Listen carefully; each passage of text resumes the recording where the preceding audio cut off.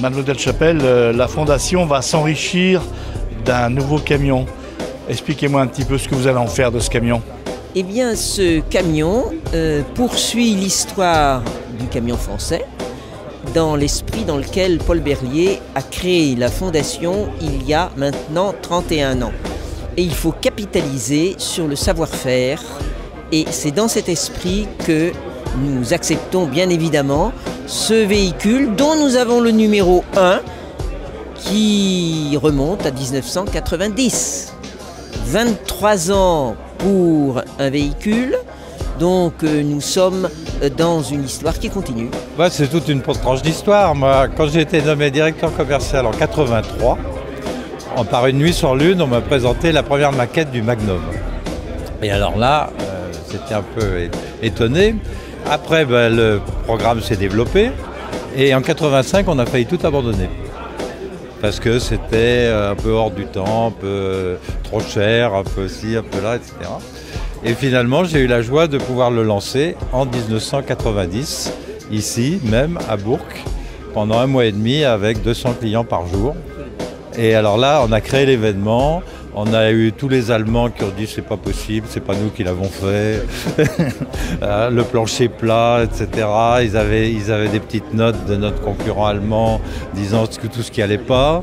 Et finalement, ben, ça a marqué les esprits. Et 23 ans de vie, eh ben, ça a été euh, une belle aventure.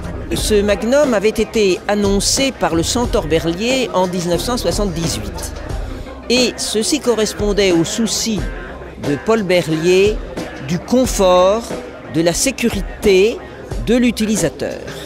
Euh, le souci des hommes, en somme. Monsieur Chabert, vous avez acquis le dernier Magnum. Qu'est-ce qui vous a amené à faire cette acquisition? C'est toute une série de véhicules que nous avions déjà commandés. Et je ne savais pas que j'étais le, le dernier à prendre le dernier. Pur hasard. Un pur hasard. Donc vous avez une écurie qui est composée de beaucoup de Renault. 100%. 50 véhicules. Et qu'est-ce que vous transportez? Que des conteneurs maritimes. Pour vous, c'est un camion comme les autres Mais bien sûr, bien sûr. Chez nous, le problème, c'est prix de vente, prix de revient.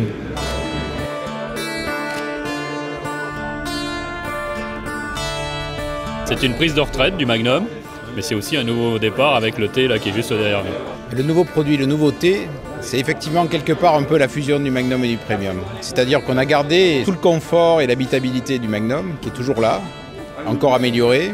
Et puis on a gardé l'efficacité du Premium, dont on sait qu'il est totalement reconnu pour sa consommation. Et donc c'est bien l'alliance des deux avec encore de l'amélioration. C'est-à-dire que la consommation du nouveau c'est beaucoup mieux que le premium et le confort du nouveau c'est beaucoup mieux que le magnum encore. Donc vous voyez c'est à la fois de l'héritage et puis du progrès. C'est ça la nouvelle gamme.